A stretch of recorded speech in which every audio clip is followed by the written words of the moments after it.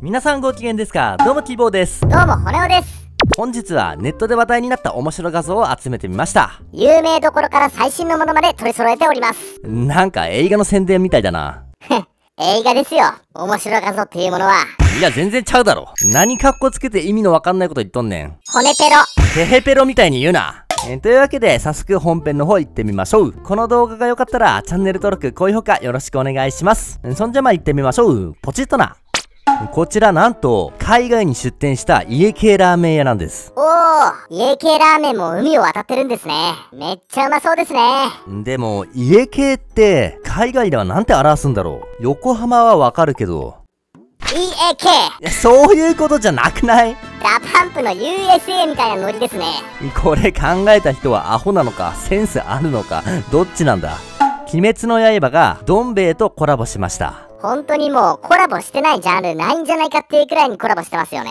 この商品炭治郎がなんか言ってるんですお湯の取り合いですか？もしそうなら、俺が腹いっぱいになるまで注ぎますから。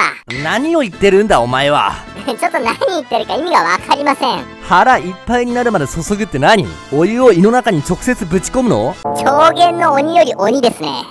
私を使って文を作りましょう。例、私の意見を申し上げる。国語の問題ですね回答した子は何て答えたんでしょ僕の私服は葉っぱ一枚だ。うそれ服じゃねえよちゃんと服着ろよ昔南原さんがこんなことやってましたね。やっぱたい懐かしい先生も歩けないって軽く突っ込んでますね。だけど丸はあげる優しさ。こちら、新潟県が作ったお米を宣伝するポスター。美少女がお米を口に加えて投稿しています。これだけでもちょっとあれなんですけど、なぜかこれを実写化したようで、その画像がこちら。いや、いねえだろ、こんなやつ。アホなの。ね、この子はアホなの？なんてまっすぐな目をしてるんでしょう。日本人の米離れを止めろって、逆にこんなん米から離れるわ。こちら、ゲームの攻略雑誌の一言なんですが、くおーぶつかる。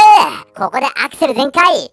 インド人を右にいや、インド人？どういうこと？こちら、こういうことらしいんです。インド人を右にって書いてますね。でもこれ実際は、ハンドルを右にっていう原稿だったらしいです。あー、なるほど。確かに、ハンドルをが、インド人に見えなくもない。なるほど。原稿を書いた人と、文字を打ち込む人が違って、こういうミスが起こったっていうわけか。で、怒るかいインド人を右にで何も疑問に思わなかったんかい。機関車トーマス、期日 OK。昭和8年、ヤクザの親分に見初められ、極道の世界に足を踏み入れた青年が、戦後の混乱期を生き抜き、小さな組織の長となる、人形の世界で戦い続ける男の姿を描く。絶対キーズダメなやつ機関車トーマスってこんなえぐい話だったんですね。この間違いはひどい。こいつ、こんな顔してそんな世界にいるとは。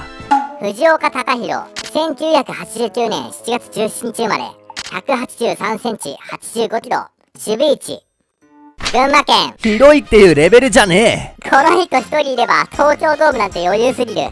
群馬は藤岡さんに守られていた。金子獲得へ、広島、5億年20円提示。安すぎるっていうレベルじゃね5億年働いて20円。うまい棒2本しか買えない。えいや、値上げするらしいから、うまい棒1本しか買えない。5年プロ野球選手で働いて、うまい棒1本。こちら、ソフトバンクマイネロ投資のプロフィール。えなんでもよく分かってないところがあるらしくてでして。生年月日、不明。いや、いいのか？生年月日不明の野球選手がいていいのか？身長体重、不明。測れよすぐ測れんだろ血液型、不明。血液検査受けさせろ出身地、キューバ？当てずっぽに答えんな聞いてくるんじゃねえうんちょっとちゃんと調べてから雇いましょうよ。桑原健太郎、2007年、大学社会人ドラフト3巡目。2013年目。え何年生きてんだよ日本の教科書の歴史、ほぼほぼ経験してますね。でも5億年働こうとする野球選手もいるみたいだから、それに比べたら2000年なんてつい最近ですね。こちら、とある漫画の最終回の最後のシーン。一番重要な一コマですね。確かめてみろ台無しだよ最後のいいところが全部台無しだよ絶対間違っちゃいけないタイミングで最悪の間違い。大事なところで噛んじゃう芸人みたいだな。お詫びと訂正。先ほどの二階幹事長は二階幹事長の誤りでした。お詫びして訂正します。いや、どんな間違いだよ。最低の間違いだよ。もう普段から煩悩の塊なんでしょうね。こいつの変換履歴見てみたい。お詫びと訂正。あれ？また同じアカウントですね。先ほどの記事のアルゼンチン国債はアルゼンチン国債の誤りでした。お詫びして訂正します。また何やってんだよ最低の間違い繰り返すなクレヨンしんちゃんのうんこ臭いみたいですね。